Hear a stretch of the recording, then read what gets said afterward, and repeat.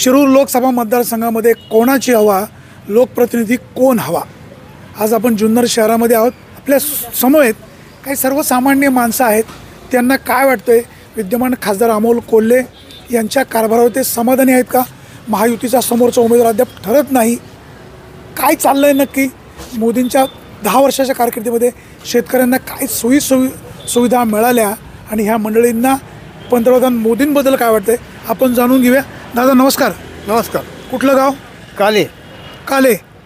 काय अं, शेतामध्ये काय काय पिकं? शेतामध्ये सध्या कांदे आहेत. गहू आहे. कांद्याला बाजारभाव शून्य आहे आज. आज आमच्या आधामध्ये तसं पाहिलं तर दीडशे रुपये आणि एकशे सत्तर रुपये कमीत कमी दोनशे रुपये तरी शेतकऱ्यांना बाजार मिळायला पाहिजे कांद्याची. तर दोन रुपये आमच्या खिशात कसे तरी पडतील. आज आम्हाला लॉस आहे आम्ही आज केंद्रामध्ये सरकार मोदींचं आहे. दहा वर्ष मोदी पंतप्रधान होते. म्हणजे आहेतच. त्यांच्या कारभारावर तुम्ही समाधानी आहात का? मोदींच्या कारभारावर आम्ही समाधान आहोत. मोदी म्हणजे माणूस चांगलेच आहेत ते. परंतु जी खालची लॉबी आहे लॉबी बरोबर नाही त्यांची. काय प्रॉब्लेम काय? आमचं म्हणणं एकच आहे का आमच्या शेतमालांचे जे बाजारभाव आहेत ते तुम्ही आम्हाला योग्य रीतीने द्या ना. आम्ही आज एवढं रात्रंदिवस उन्हात अनात कष्ट करतो शेतकरी. पण त्याचा जर त्याला मोबदला मिळत नसेल तर ते उपयोग नाही ना त्याच्यात एवढं. म्हणजे केंद्र सरकारने शेतकऱ्यांच्या संदर्भामधल्या पॉलिसी बदलल्या पाहिजेत. हा पॉलिसी बदलणं म्हणजे काय? आज आम्हाला खताचे बाजार औषधांचे बाजार याच्यावर सगळे जी एस टी लावून त्याचे भाव भडाकले गेले. त्याच्यामुळे आम्हाला ते परवडत नाही आज शेतकऱ्यांना. आपल्या विभागाचे खासदार डॉक्टर अमोल कोल्हे यांच्या कारभाराबद्दल काय सांगाल? त्यांचा कारभार जर ते- त्या हिशोबाने जर पाहिलं तर दोन्हीकडेही सरकार केंद्र सरकार आणि महाराष्ट्र सरकार हे एकच असल्यामुळं हे अपक्ष म्हणजे विरोध पार्टीची मंडळी असल्यामुळं यांना जेवढा विकास करायला पाहिजे जेवढे पैसा मिळायला पाहिजे एवढा काही पैसा त्यांना मिळत नाही. त्याच्यामुळे तरी पण आम्ही त्यांच्या याच्यावर खुश आहे. जे डॉक्टर अमोल कोल्हे यांच्या पाच वर्षाच्या कारकिर्दीमध्ये फारसा विकास झाला नसला तरी तुम्ही त्यांच्या कारभारावर खुश? खुश आहे खुश. कारण मुळातच त्यांना तिकडून जे हे मिळायला पाहिजे होतं निधी. निधी मिळायला पाहिजे होता तो निधी कमी मिळतो. त्याच्यामुळं कामाची थोडीशी इकडे तिकडे हे होणार. सगळ्यांची कामं काय एकदम होताना. आता बैलगाड्याची शर्यत अं, माझ्यामुळं सुरू झाली. असं कोल्हे सांगतायत आढळराव सांगतायत. काय वाटतं तुम्हाला? आता हे सगळे जर पाहिलं हे प्रत्येकजण आपल्याला श्रेय कसे मिळेल हे पाहत असतो. तर त्याच्यामध्ये कोल्यांचं जास्त हे आहे, श्रेय. श्रेय. आहे. आणि आढळरावांनी काय प्रयत्न नाही केले? आढळरावने बी प्रयत्न केले परंतु त्यांच्या प्रयत्नाला काही यश आलेलं नाही तितकं. कोल्हे आणि आढळराव यांचा दोन हजार चोवीसला पुन्हा सामना होऊ शकतो. काय परिस्थिती पाहायला मिळेल? सर्वसाधारण आमचं एक असं वैयक्तिकमध्ये का यावेळेला सुद्धा कॉलेज यायला पाहिजेत आणि येणार. आता कोल्हे साहेब निवडून आले. तुम्ही जसं म्हणाले केंद्रामध्ये मोदीच पाहिजे. मग मोदींचं सरकार येणार. पुन्हा विकासाला निधी मिळायला खोडा बसणार. खोडा बसणारच. मग विकास नको? विकास तर व्हायलाच पाहिजे. पण विकासाबरोबर माणसंसुद्धा जोडण्याचं काम करायला पाहिजे. चांगली माणसं निवडून आली पाहिजे. हा. तुमचा पाठिंबा कोल्हेंना का आढळरावांना कोल्यांना आपण पाहतोय शेतकरी दादा आहेत. त्यांनी त्यांच्या भावना अतिशय स्पष्टपणे मांडले चहावाले दादा आहेत. नरेंद्र मोदी चहा विकून पंतप्रधान झाले. ह्या चहा विक्रेत्यांना काय वाटतंय? काय सांगाल तुम्ही देशाचे पंतप्रधान नरेंद्र मोदी यांच्या कारभारावर तुम्ही समाधानी आहात का? शंभर टक्के समाधान नरेंद्र मोदीच देशाचे देश प्रगतीपथावर नेण्याचं काम त्यांनी केलेलं आहे आणि त्यांच्या काळातच देश प्रगतीपथावर अजून जाईल ही अपेक्षा आम्हाला आहे. आणि मोदी साहेबांवर आमचा शंभर टक्के भरोसा आहे. आता लोकसभेच्या निवडणुका लागलेल्या आहेत. ह्या निवडणुका लागलेल्या आहेत. खासदार अमोल कोल्हे पुन्हा निवडणुकीला सामोरे जात आहेत. त्याचबरोबर शिवाजीराव आढळराव सुद्धा रिंगणात असणार आहे. कोल्हे उमेदवार योग्य आढळराव. नाही, माझं म्हणणं असं आहे का मोदी साहेब मोदी साहेब ज्यांना उभं करतील किंवा ज्यांची मदत थेट मोदी साहेबांना नाही मग त्या ठिकाणी दगड उभा केला तरी आम्ही त्यालाच मतदान करू. शिवाजीराव आढळ नाही. ऐका ऐका. शिवाजीराव आढळराव हे महायुतीचे म्हणजे मोदींचे उमेदवार असणार आहेत. जर ते डिक्लेअर झालं तर आम्ही त्यांना मतदान करणार. तसे आम्हाला ते फार आवडतात असं काही नाही. तर त्यांनी सुद्धा मागच्या पाच वर्षाच्या काळात त्यांनी पंधरा वर्ष खासदार होते. हा पंधरा वर्ष होते. आणि त्यातल्या पाच वर्षाच्या काळात त्यांनी जुन्नर तालुक्यात सपशेल दुर्लक्ष केलं. जुन्नर तालुका त्यांनी असं गृहित धरला का या तालुक्याची जशी काही आपल्याला गरज नाही. असे आढळराव साहेब वागलेत. त्याच्यामुळं आम्हाला आढळरावच पाहिजे किंवा अमोल कोल्हेच पाहिजे असं आमचं म्हणणं नाही. थेट मोदी साहेबांना ज्याची मदत होईल त्याला आम्ही मतदान करणार. कोणी असू द्या खासदार कोल्हे यांच्या पाच वर्षाच्या कारकिर्दीवर तुम्ही समाधानी आहात का? माझ्या माहितीनुसार कार्यकर्त्यांनी काय विकास केला हे तर काही सांगताच येणार नाही मला. पण माझं असं म्हणणं आहे की दरवर्षी शिवजयंती होती. अमोल कोल्हे मला एकाही शिवजयंतीला दिसलं नाही फक्त याच वर्षी दिसले. बाकीचे शिवजयंती मागच्या वर्षी पण होते. मला माझ्या माहितीनुसार ते मला फक्त याच वर्षी दिसले. बाकीचे शिवजयंतीला कुठे गेले? अमोल कोल्हे जर शिवाजी महाराजांच्या म- भूमिका करून जर मोठे झाले असतील तर त्यांनी शिवाजी महाराजांना विसर पडला नाही पाहिजे. शिवाजी महाराज संभाजी महाराजांचा इतिहास ते घराघरामध्ये पोहोचवण्याचं काम करतात मान्य. आम्हाला त्याच्याबद्दल म्हणणं. आमचं म्हणणं एवढंच आहे का प्रत्येक शिवजयंतीला ते खासदार असो अगर नसू प्रत्येक शिवजयंतीला त्यांनी हजर राहायला काय हरकत आहे? हे आमचं मत आहे. आता केंद्रामध्ये पुन्हा सरकार कोण असेल नरेंद्र मोदी शंभर टक्के. मोदी साहेबांचं सरकार येणार. अख्ख्या देशात तुम्ही सर्वे पाहिलं तर मोदी साहेबांच्या मागे जनता आहे. मोदी साहेबांच्या कामावर सगळी लोक खुश आहेत. इथून मागे शेतकऱ्याला कधी एक रुपया मिळाला नाही. मोदी साहेबांनी प्रत्येक शेतकऱ्याला सहा सहा हजार रुपये वर्षाला द्यायचं. कबूल केलं नाही. प्रत्येक शेतकऱ्याला मिळतात ते पैसे. भारतीय जनता पक्षाने फोडाफोडीचं राजकारण केलं हे. लोकांना आवडलेलं नाही. आता हे भारतीय जनता पक्षाने केलेलं हे लोकांना खरोखर आवडलं नाही. आणि आपल्या महाराष्ट्र राज्यात तर फारच पचका झाला आहे त्याच्यामुळं लोकांना हे राजकारण नको वाटते पण मोदी साहेबांवर लोकांचा भरोसा असल्यामुळं लोक लोकसभेच्या याला मोदी साहेबांकडे पाहून लोक मतदान करणार. नाही तर आपल्या महाराष्ट्र राज्यात तर राजकारणाचा फार पचका झाला आहे जे देवेंद्र फडणवीस म्हणत होते अजित पवार लावाडे अजित पवारांनी सत्तर हजाराचा भ्रष्टाचार केला आहे तोच अजित पवार तुमच्या मंत्रिमंडळात इथून उपमुख्यमंत्री होतो म्हणजे तुम्ही कोण? त्याच्यामुळं देवेंद्र फडणवीसवर नाराजी आहेच लोकांची. राज्यामध्ये आता पुन्हा लोकसभेची निवडणूक झाली की विधानसभेच्या निवडणुका पुढे सुरू होणार सुरू आहे जुन्नरचे आमदार अतुल बेनके महायुतीचे उमेदवार असणार आहे. म्हणजे नरेंद्र मोदी अजित पवार यांच्या बाजूने. त्यांच्यासमोर सत्यशील शेरकर श शरद सॉरी शरद सोनवणे आशाताई बुचके असा चौरंगी सामना पाहायला मिळू शकतो. असा चौरंगी सामना झाला तर कोण आमदार होईल? मी तर म्हणतो मग सत्यशील शेरकरला चान्स द्यायला काय हरकत आहे? शरददादा आमदार झालेले अतुल बेनके आमदार झालेले शरद आपलं सत्यशील शेरकरला हे आशाताई राहिले की? आशाताई राहिली पण आशाताईचा दोन वेळा प्रयत्न होऊन आशाताई काही झाली नाही. त्याच्यामुळे मी म्हणतो नवीन चेहरा द्यायला काय हरकत नाही.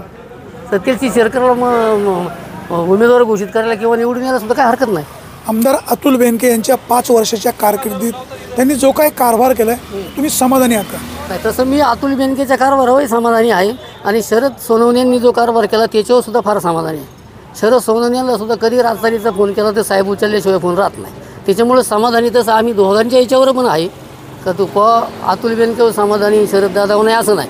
शरद दादावरही समाधानी आहे अतुल बेनकेवरही समाधानी आहे. देवेंद्र फडणवीस मुख्यमंत्री म्हणून त्यांनी पाच वर्षाची कारकीर्द खूप चांगली केलेली आहे. आता उपमुख्यमंत्री असताना सुद्धा ते चांगलं काम करतायत. तरी तुम्ही त्यांच्यावर नाराज का? त्यांच्यावर नाराज व्हायचं आमचं कारण एवढंच आहे. आम्ही त्यांच्यावर नाराज नव्हतो पण ज्यावेळेला तुम्ही यांच्यावर भ्रष्टाचाराचे आरोप करता तर ही माणसं चांगली नाही यांना हात घातलं पाहिजे चक्की पिसली पाहिजे असं तसं हे जे तुम्ही बघते त्यांना मग समजा ते लबाडीत किंवा चोर आहेत असं म्हणून चला. ते तुमच्या मंत्रिमंडळात येऊन जर उपमुख्यमंत्री होणार असतील होत असतील तर मग आम्ही काय मेसेज समजायचं? तुमचं म्हणणं काय आम्ही समजायचं? तुम्ही बोलता एक आणि करता एक असंच होतं ना त्याचा अर्थ. असं आमचं म्हणणं आहे. नरेंद्र मोदी पंतप्रधान व्हायच्या आधी मुख्यमंत्री व्हायच्या आधी असं म्हणतात चहा विक्री करायचे. आता तुम्ही सुद्धा चहा विक्रीचाच व्यवसाय करताय. तुमचा जर व्हिडिओ नरेंद्र मोदींनी पाहिला तर भविष्य काळासाठी चहावाल्यांसाठी त्यांनी काय करायला हवं? माझ्या माहितीनुसार नरेंद्र मोदी सत्तेवर आल्यापासून त्यांनी चहावाल्यांसाठी सगळ्यांसाठीच केलेलं आहे. नुसतं चहावाला म्हणजे देश नाही देशासाठी प्रत्येक माणूस महत्त्वाचा आहे. आणि नरेंद्र मोदींचा जो नारा आहे सबका साथ सबका विकास. शेवटच्या माणसापर्यंत सुद्धा विकास पोहोचला पाहिजे त्यांच्या त्या वाक्यावर त्यांच्या त्या वागण्यावर आम्ही समाधानी आहे. नक्कीच यांचं म्हणणं असं आहे नरेंद्र मोदी म्हणजे सबका साथ सबका विकास. आपल्यासोबत एक दुसरे एक सहकारी आहेत. दादा काय सांगाल? आता लोकसभेची निवडणूक पुढ्यात आहे. हवा कोणाची? लोकप्रतिनिधी कोण हवा? आढळराव की कोल्हे? कोल्हे साहेब लोकप्रतिनिधी असावा. हे चहावाल्यांचं म्हणणं आहे. पंतप्रधान नरेंद्र मोदी झाले पाहिजे. नरेंद्र मोदी भारतासाठी धोकेदायक आहे. धोकेदायक आहे. भाऊ ऐकलं का ते म्हणतात मोदी भारतासाठी धोकेदायक आहे आता कसं होतं माहिती आहे का? तुम्हाला सांगतो साहेब. प्रत्येकाची विचारसरणी वेगळी. माणसाचं डोकं बदललं विचार बदलला. तंबाखू खाणारे लय जण भेटतील पण सगळेच गायछाप खाणार नाही. कोण पानाची खाईन कोण पंढरपुरी खाईन. त्याच्यामुळे प्रत्येकाचे विचार अलग अलग असू शकतात. माझा विचार तर असा आहे बा मी मोदी बघते नाही, नाही तुम्ही तुम्ही हा छकाय काय? मोदी साहेबांनी खूप चांगलं केलं पण काही गोष्टी फार चुकीच्या झाल्या. काही म्हणजे काय? काही गोष्टी म्हणजे हेच आता जे जाहिरात चालले ही जाहिरात नको होती. दुसरी गोष्ट अशी आहे की लोकांच्या याच्यात शेतकरी पुरा मारला. म्हणजे शेतकऱ्याच्या मालाला भाव नाही आहे शेतकऱ्यांना आश्वासन देऊन लोकांना आळशी केलं. लोकांना ना पैसे देऊन लोक कामं करायला तिकडेच पळायला लागले. कोणी काम करत नाही शेतात मजूर मिळत नाही मजुरी जाम वाढली. ते असून तर असून शेतीमालाला जर भाव नसला तर शेतकऱ्याने करायचं काय? हां? आता पाण्याची टंचाई नुसतेच आसवन जे बेघर आहेत लोक जे बेघर आहेत त्यांना घरं नाही. ज्यांना घरे चार चार घरे त्या प्रत्येकाला. गव्हर्मेंट सर्व्हिस नाही आहे गव्हर्मेंट सर्व्हिस एका घरामध्ये एका माणसाला जरी सर्व्हिस असलं तर अख्खं कुटुंब पोचलं जातं. पूर्वी इंदिरा गांधीच्या काळात काय असायचं की एक घ प्रत्येक घरातला एक माणूस गव्हर्मेंट सर्व्हिसला असला तर अख्खं घर पोचलं जायचं. म्हणजे सुखी राहायचे. आता तसं नाही. आता ही सर्व ठेकेदारी चाललेली आहे. आणि ह्या ठेकेदारीमधून काय होतं की पगार कमी माणसं जास्त एकत्र कुटुंब पद्धत राहिली नाही कोणी कोणाला विचारित नाही. आणि ह्या सर्व फुकट लोकांना आशा दाखवून द्यायचं सर्व काही गोष्टी फार म्हणजे फार वाईट आहेत. आणि त्याच्यामुळं जनतेला जनता दु- नरेंद्र मोदींच्या बाकीच्या कारभारावर तुम्ही खुश आहात? शेतकऱ्यांसाठी धोरण चांगलं नाही असं तुमचं म्हणणं हा, आहे. शेतकऱ्यांसाठी आणि नोकरी. तुमचा मुद्दा पंतप्रधान लक्षात आला? शेतकऱ्यांच्या बाबतीत जर बोलायचं असेल तर मोदी साहेबांना आपलं असं म्हणणं आहे का मोदी साहेबांनी खतांच्या किमती एकदम कमी करावा. इकडे शेतकऱ्याला बाजारभाव वाढून द्या अगर देऊ नका पण शेत शेतीला लागणारी जी अवजारं हत्यारं खतं औषधं यांच्या किमती त्यांनी अगदी कमी प्रमाणात ठेवावा असं आपलं मत आहे. शेतकऱ्यांचं यांचं म्हणणं पटलं? नाही नाही बरोबर आहे ना. शेतीला काय पाहिजे? खतं. खताची किमत्या कुठच्या कुठं गेलेत? पेट्रोल कुठच्या कुठं गेले लोकांना पूर्वी राखेल लाइट गेली तर बत्त्या लावायला भेटायचं. ते रॉकेल भेटत नाही. राशनमध्ये कमतरता झाली. फुकट राशन देऊन लोक लाडवली. आणि ती लोक लाडवल्यामुळं कोणी काम करायला मागत नाही. मग सरकारी नोकरी लोकांना नाही. पोरं ग्रॅज्युएशन होऊनही सरकारी नोकऱ्या नाही आहेत टेम्पररीमध्ये काय परवडणार आहे हो? हां? दहा आणि बारा हजार रुपयामध्ये महिना चालत नाही. नरेंद्र मोदी पंतप्रधान होण्याच्या अगोदर किंवा मुख्यमंत्री होण्याच्या अगोदर ते चहा विक्री करायचे असं म्हणायचे. आता हे चहावाले म्हणतायत नरेंद्र मोदीच पंतप्रधान पाहिजे. तुमची भूमिका काय? नरेंद्र मोदींनी खूप चांगलं काम केलं तसं बघायला गेलं तर. चहा विकून जो माणूस पंतप्रधान होतो तो खूप चांगला आहे. परंतु हे पुढे गेल्यानंतर जे हे विचार बदलले हे चांगले नाहीत हे माझं म्हणणं आहे. तालुक्याचा आमदार कोण झालं पाहिजे? तालुक्याचा आमदार कोल्हे झाला आपला हे झालं पाहिजे शर्यत दादा शरदत्ता सोनवणे. सोनवणे. विद्यमान आमदार अतुल बेनके. आता त्यांचं कामच काय नाही तर ते काय अतुल बेनकेला करताय? आशाताई बुचके? अशा ताई बुचके तर आपल्याला बिलकुल पटत नाही. विघ्नर कारखान्याचे अध्यक्ष सत्यशील शेरकर? ते चालतील. ते खूप चांगले आहेत. मग आता शेरकर की सोनवणे? शेरकर सोनवणे हे दोघांपैकी कोणीही चालेल कारण का- बेनके बुचके नको? नाही. कामावरती सर्व निर्भरित असते. तालुक्यामध्ये अहो अं, आज पाच सहा अं, दहा वर्ष व्हायला आले. गावामध्ये एक एक एक रुपयाचं काम नाही आहे नुसतीचं आश्वासन नुसतीचं आश्वासन. आहे. काय उपयोगाचं? आमदार बेनके यांनी अजित पवार उपमुख्यमंत्री झाल्यानंतर करोडो रुपयाचा निधी तालुक्यासाठी आणलाय असे त्यांचे कार्यकर्ते नाही, आम्हाला सांगतात नाही ही वस्तुस्थिती तुमचं गाव कुठलं आहे? आमचं सोनावळं. तुमच्या गावामध्ये विकास नाही झाला? जा येऊन बघायचं. आता तुम्ही इथं आमची मुलाखत घेऊन काय करताय? तिथं येऊन बघा विकास झालाय किंवा नाही झाला. रुपया- तुमच्या गावामध्ये विद्यमान आमदारांचं एक रुपयाचं काम नाही. नाहीये. तुम्ही कॅमेऱ्यासमोर बोलताय. हा कॅमेरा असू द्या ना बोल आणि समजा मी गावात आलो वस्तुस्थिती वेगळी असली मग? मग बघायचं तुम्ही काय कामं झालेली आहेत काय कामं दिली ती बघायची परिस्थिती. दे अ, सड रस्ता आहे का? पाण्याच्या लाईनीचं काम आत्ता चालू झाले. हा? याच्या म्हणजे कधी? आता ते जल जीवन महिन्यापूर्वी- मिशन ती केंद्र महिन्यापूर्वी. ती केंद्राची योजना आहे. मग केंद्राची योजना ती महिन्यापूर्वी चालू झाली. याच्या मागं आम्हाला मी आज दहा वर्ष झालं रिटायर झालो आहे माझ्या घरात अजून पाणी नाही आहे आणि ग्रामपंचायतचं लाइट बिल भरतोय. आपला सॉरी पाणी बिल भरतोय घरपट्टी भरतोय सर्व काय भरतोय. ग्रामपंचायतचा रुपयाचा फायदा नाही आम्हाला. का आम्ही काय- शरद सोनवणे आमदार असताना त्यांनी तुमच्या गावामध्ये कुठली कामं मार्गी लावली? शरद सोनवणे काम असताना आमच्या गावामध्ये अजून मी काय सांगतो का आमच्या गावामध्ये कोणीच अजून काहीच काम केलं नाही. शरद सोनवणे- दिलाय तो कोणी दिलाय मला माहीत नाही. माहिती घ्यावी लागेल. हा त्याची माहिती घ्यावं मला माहीत नाही. मारुतीच्या मंदिरासमोर एक मंडप मग. शरददादा सोनवणे यांनी आमदार असताना तुमच्या गावात निधी दिलाय का नाही माहीत नाही. तरी तुम्ही त्यांचे एवढे फॅन का? फॅन म्हणजे याच्यासाठी का माणूस होणार आहे? जो माणूस कर्तव्य कर्तव्यवान असतो लोकांची गाठभेट करतो त्यांनी पाठीमागं भरपूर अशी गोरगरिबांची लग्न लावून दिली ज्याला की खायची ममताज आहे अशांची लग्न लावून दिली समाजकार्य केलं अशा माणसाला आम्ही प्राधान्य देतो. आता शेरकर आणि सोनवणे दोघांपैकी एकाला निवडायची पाळी आली तर कोणाला निवडाल? आता हे बहुमत आहे. तुम्हाला व्यक्तिगत काय वाटतं? नाही नाही तसं नाही बाप तसं नाही बोलता येत तर शेरकर किंवा दोघांपैकी उजवं कोण काम करायला? काम करायला आता शेअर करता नवीनच येतात आहे की नाही? पण दादानी पहिला अनुभवलेलं आहे काम करण्याविषयी. पण राहिला सवाल असा जसं शेरकर आहेत तसे दादा पण आहेत आहे का नाही? आणि त्याच्यामुळं आपण नाही कोणाला काय हाच यायला पाहिजे हाच यायला पाहिजे. नाही निवडून कोण येईल ते मतदार ठरवतील मतदान परंतु हे दोघांचा जर परफॉर्मन्स पाहिला तर काय वाटतं दोन्ही तुम्हाला? चांगले आहेत. दोन्ही चांगले. दोन्ही चांगले आहेत. तुम्हाला काय वाटतं सोनवणे आणि शेरकर मधला काय फरक? आता सोनवणे निकच आहे पाच वर्षाचा आमदारकी भोगलेली. आणि बाप आणि काम असं केलंय का रस्त्यांचं जाळं रस्त्यांचा विकास जो शरददादा सोनवणेंनी केलाय असे रस्ते याच्या अगोदर नव्हते. तुम्ही कंच्या एक बार खेडेगावात जा पश्चिम पट्ट्याकडे जा आदिवासी भागाकडे जा. रस्त्यांचं जाळं इतकं भारी प्रमाणात शरददादांनी केलेलं आहे. का शरददादांच्या ते एक काम आणि शरददादांचं अजून एक काम तुम्हाला सांगतो का जी गरिबांची लग्न लावून दिली. ते फार चांगलं काम. ते सुद्धा एक काम शरददादाचं फार भरीव आहे. आणि पण तरी मागच्या निवडणुकीला पडले ना. ते पडले म्हणजे ती फाळणी मताची हे झाली ना हो. हे झाली. अहो, आशाताई बुचके आणि न, अतुल बेनके यांच्यामुळं काय झालं? आशाताई बेनके आशाताई बुचकेंनी जी दादाची मतं खाली त्याच्यामुळे दादा पडले. नाही तर तसे जर आशाताई बुचके नसते तर दादा पडू शकत मग नाही. आशाताईंना शिवसेनेने पक्षातनं काढून चूक केली?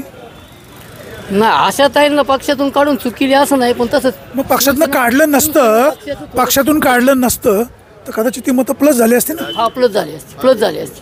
पक्षातून काढायला नकोच होतं कारण मुळात आशाताईंनी पक्ष वाढवलाय आशाताईचं श्रेय आहे पण त्या ऐन वेळेला त्यांनी शरददादांना घेऊन जे तिकीट दिलं तसं आशाताईवर तो अन्यायच होता. आता शेरकर आणि सोनवणे हे दोघांमध्ये आपल्या स्पर्धा पाहायला मिळते. ह्या दोघांमध्ये उजवं कोण वाटतं? असं उजव म्हटलं तर अनुभवी शरददादा सोनवण्याचे उजव शरददादा सोनवण्याचे परंतु माझं असं म्हणणं आहे का सत्यशील शेरकर जरी निवडून आले तरी ते काम करू शकत नाही असा त्याचा अर्थ होत नाही ना. नवीन माणूस जरी आला तर नवीन माणूस काम करू शकतो असं काही नाही. फक्त मनातून करायची इच्छा पाहिजे मनातून ज्याची करायची इच्छा आहे तो तालुक्याचा विकास करू शकतो.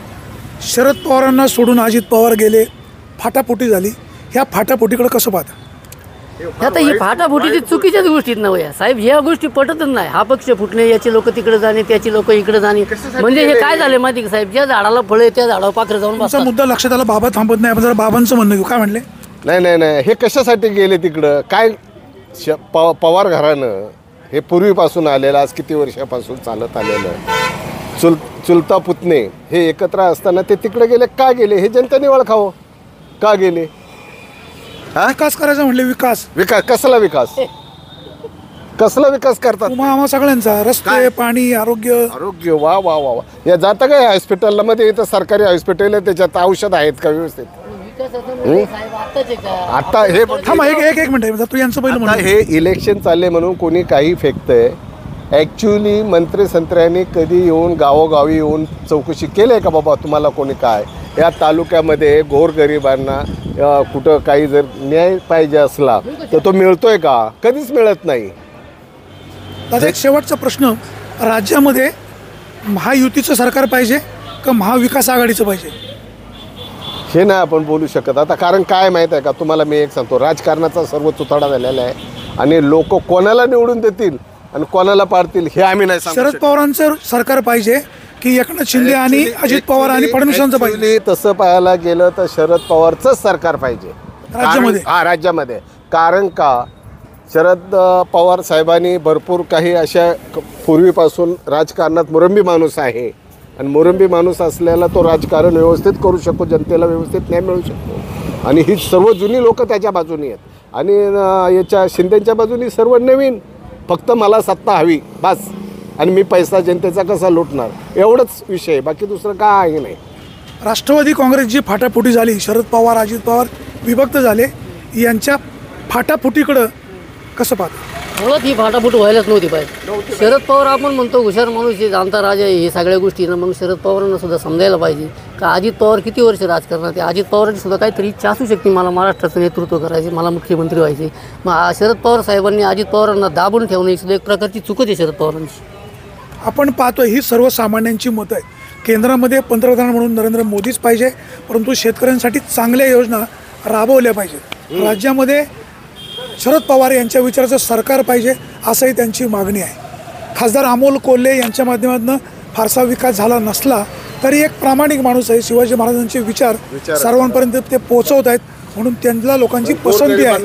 त्याचबरोबर नरेंद्र मोदी यांचे हात बळकट करायचे असतील तर ते जे उमेदवार देतील त्यालाही निवडून दिलं पाहिजे अशी सर्वसामान्यांची मतं आहे मतदारांना तुम्हाला जे योग्य वाटते तो निर्णय घ्या. कोणाच्याही दहशतीखाली दबावाखाली मतदान करू नका. तुमच्या जो कामाचा माणूस असेल त्यालाच निवडून द्या. सुरेश वाणी विघ्नर टाइम्स जुन्नर.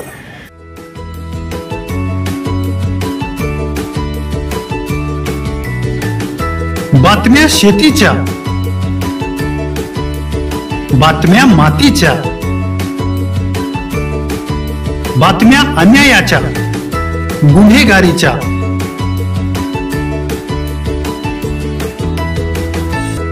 राजकारणाच्या आणि समाजकारणाच्या. शोषणाविरुद्ध बुलंद आवाज जनसामान्यांच्या हुंकाराची गाज. सत्कार्याला प्रोत्साहन. दुष्कृत्याला अनुशासन.